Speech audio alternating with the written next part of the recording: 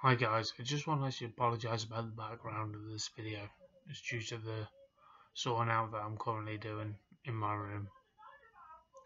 Just want to actually say my name's Gavin Fletcher, I'm 38 years old, I've worked the catering and hospitality industry for over 20 years. From a bartender to a glass collector to a toilet attendant, I've done it, apart from obviously being a manager of course.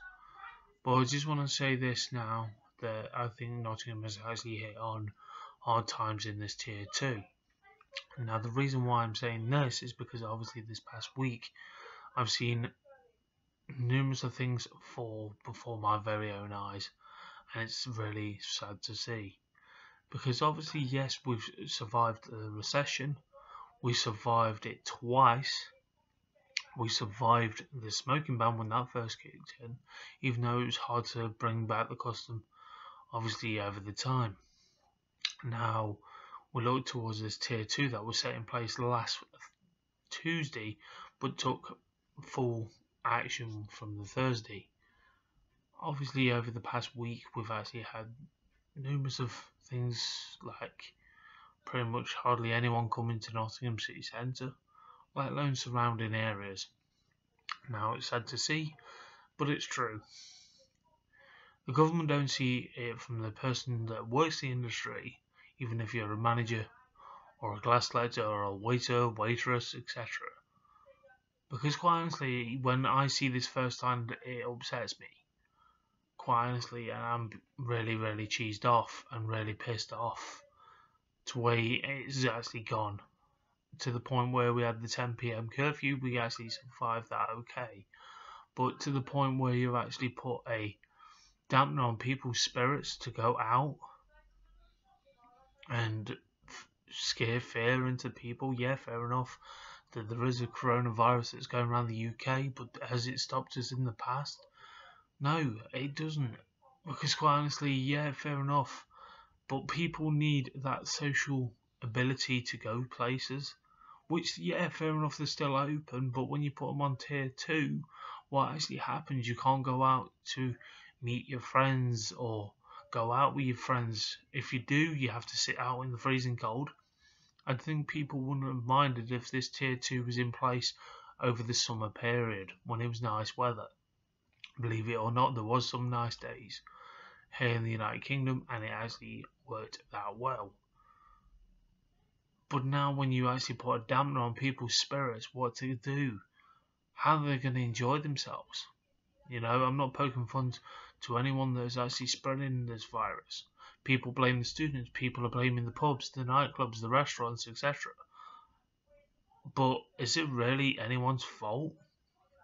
You can pick it up by a cough, you can pick it up any way or form by any individual that has actually got this virus or develops into this virus from a common cold or a flu.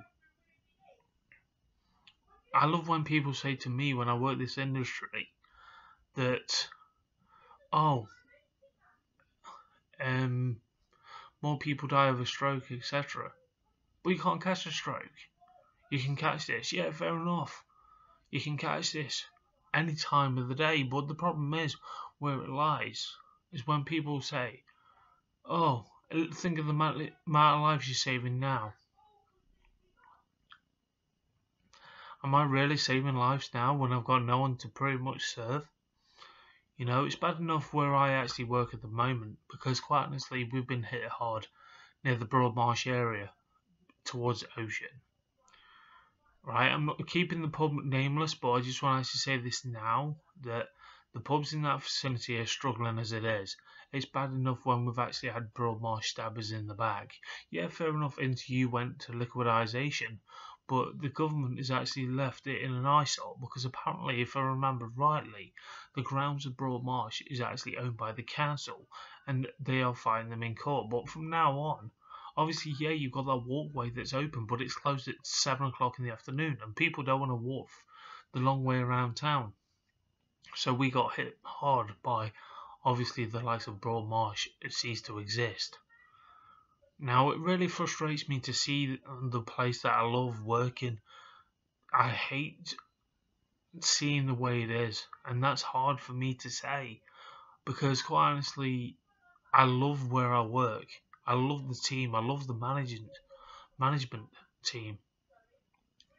But it's come to the point where we've lost hours uh, due to lack of trade, and it's not the manager's fault. It's not the company's fault. It's the people that used to come in the pub no longer come in the pub because obviously because of this virus that is running rampant around the United Kingdom. It's made offices around our area close. We used to be so busy, it was unbelievable for lunches, etc. And now we're just like a pretty much of a ghost town as compared to what we used to were. It's not just us that's been affected, it's basically the whole of Nottingham. Because we're actually on tier 2. But the reality check was, for me, that really upset me, that a wedding of six people that came in towards last orders on Saturday they shared a cupcake in our beer garden. They couldn't even sit inside. Yeah, fair enough, they had a glass of Prosecco to toast the wedding couple. But we try to make the best of it for them towards last orders in the beer garden. They couldn't even sit in the warmth. Yeah, fair enough, we've got patio heaters, but that still doesn't make them feel welcome as much as I would love to make them feel welcome in our vicinity because we're on tier two. If we get caught out, like numerous of places have in the past, which I'll keep nameless, they'll get a fine, and we'll get a, we'll get a fine, a massive fine that will take a big hit on us if we don't follow these government guidelines. But all we can say is when we actually had the opportunity before this tier 2 came in, at least one thing we made people sanitize their hands, made sure they wore a mask, etc. They come nowhere near the bar. We made people feel welcome even though they, they sort of refused to download the app. It's all this palaver that is basically we've done something to try and kill this virus. And now we've been kicked in the dick massively by this. You know, we've helped the government out, we've helped to stick to government guidelines. But now when we're on tier 2, it's making it even harder for us to stick to those guidelines. Yeah, fair enough, the place where I work, we stick to those guidelines and we take the people's word for it. They all live together.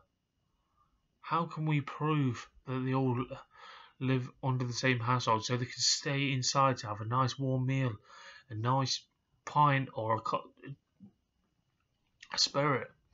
I was going to say cocktail because obviously we've got cocktails coming soon. But it's got to the point where if you get caught out, you get a fine. But we're not supposed to ask for bills. We're not supposed to itemize bill to prove address. We just take their word for it. And if they're not actually living in the same household and they're proven wrong we're actually getting fined.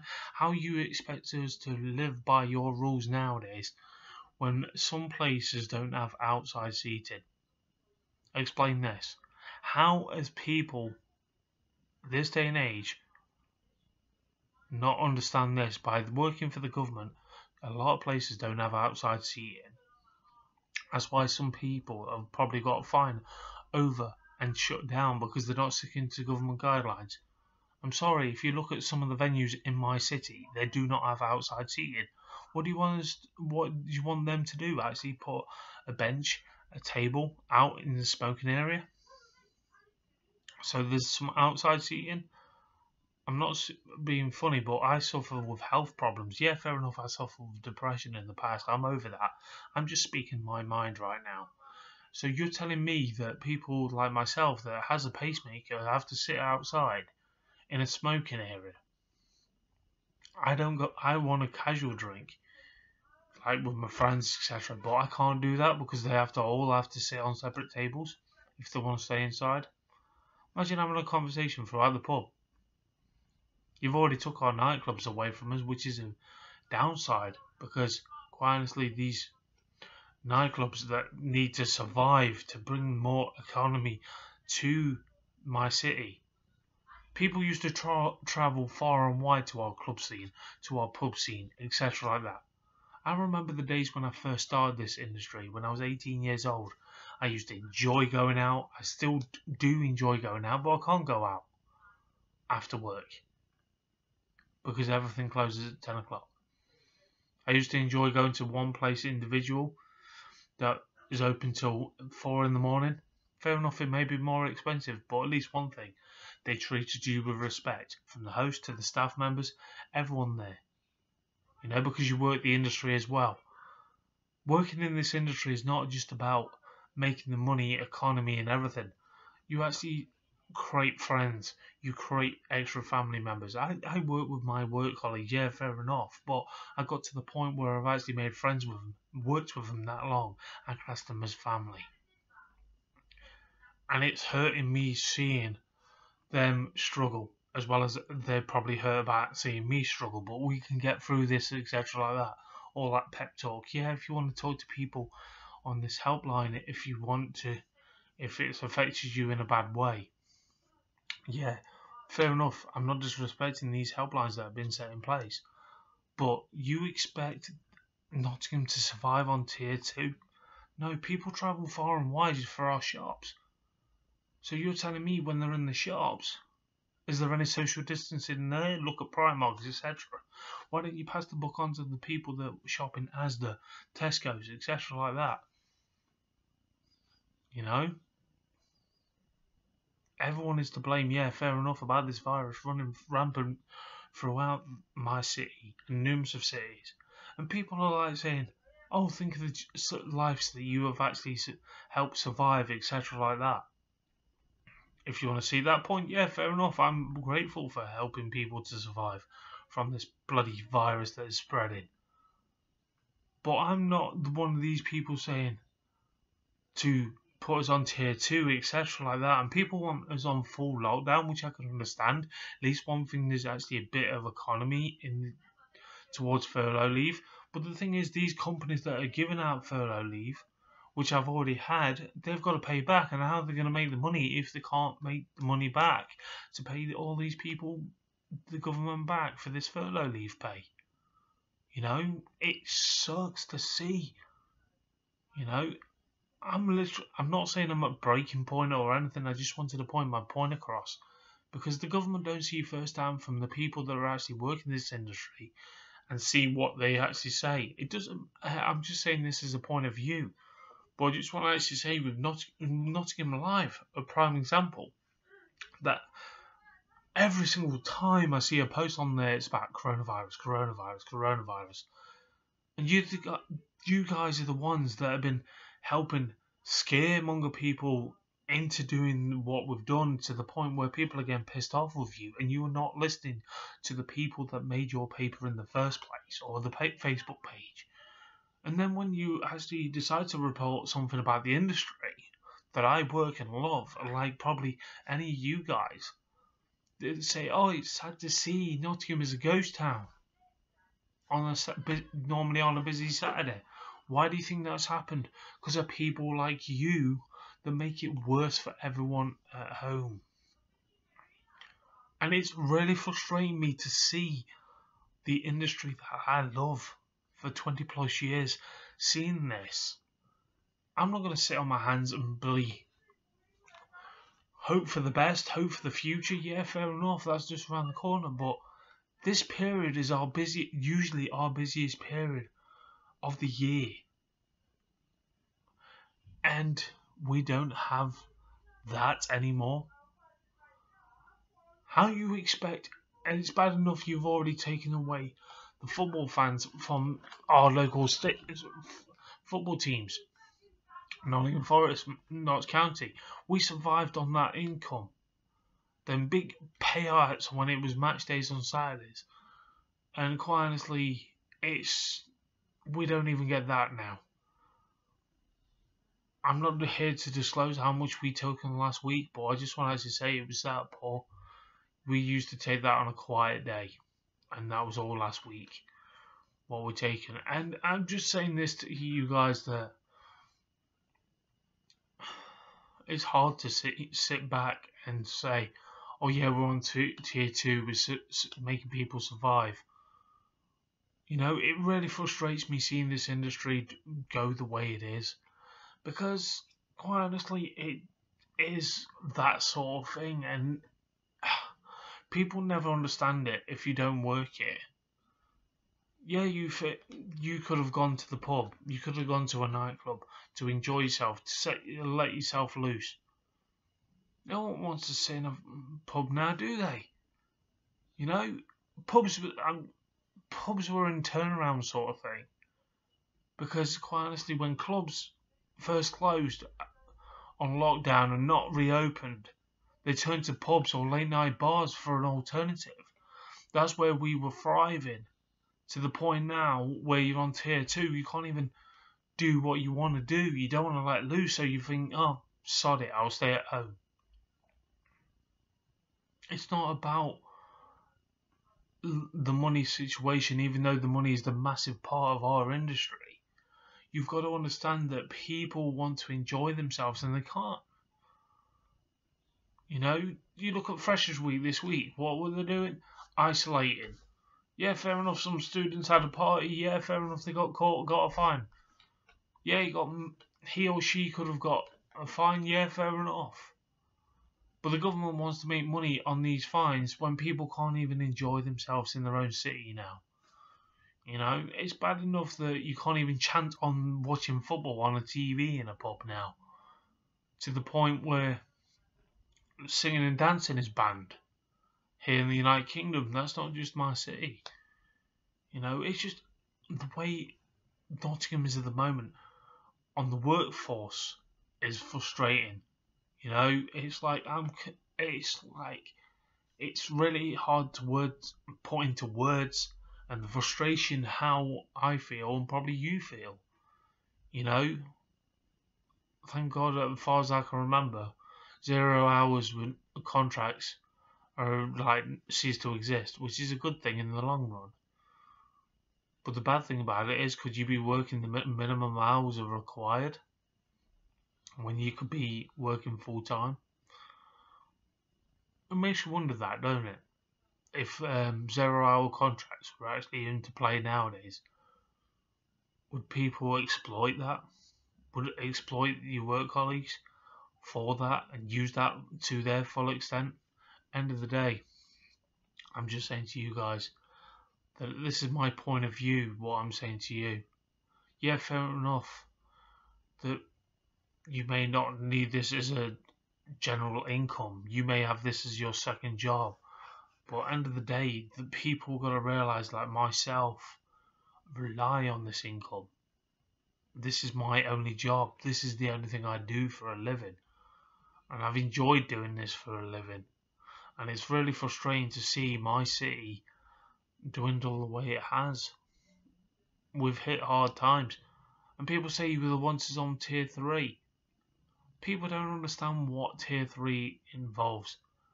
It's if you work in a pub that serves food, you have to force them to buy a meal if they want a drink. It's already hard on tier two, so God forbid if it was tier three. If it was on a national lockdown again, it probably might help a lot of people out in the process. But it's really, really frustrating to see the way that things are I just wanted to put this video out for you guys. Hope you can understand. And obviously, all we have to worry about if we do this is when our next shift is, when our next paycheck is going to come through, etc. I just wanted to put this personal video out to you guys. I hope you can understand my frustrations at the moment with everything that's going off. But it's funny when you actually see the likes of Derby on tier one. This ain't to do with Nottingham versus Derby sort of situation. But it's a ma massive, massive drop compared to from tier one to tier two to tier three. But we're stuck in the middle. Yeah, we're the heart of people say we're the heart of the UK. But where's the heart gone? You know, don't be scared off because of virus. Yeah, fair enough, you may have to sit outside. But like I've said, not all places have got places to sit outside. They're fortunate if they have. I want clubs to reopen. I want us to have our life back. What Nottingham was made for. For partying. Not just for Robin Hood. It just really frustrates me to see my city the way it is. And if it continues this way, we're not going to have a good Christmas, are we? I just wanted to get this off my chest. I just wish there was a massive reset button on 2020. Good way to start a new decade, eh? Thanks, guys, for listening.